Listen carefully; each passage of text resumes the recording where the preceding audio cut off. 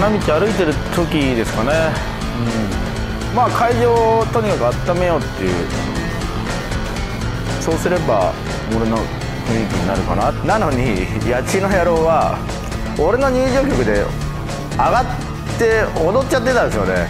もう空気変わるどころか対戦相手がそれで喜んじゃってる世代だから困ったやつですよね。こうったやつ。来た来たみたいに思ってました。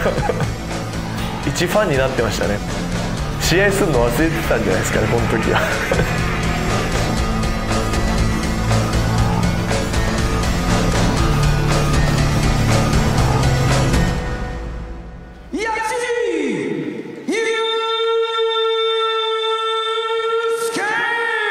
ノスタルジアの引き立て役なんかそんな気持ちはさらさらない。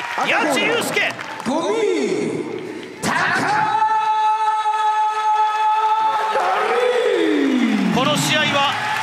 のしみですよ。飲み高則はそう話しました。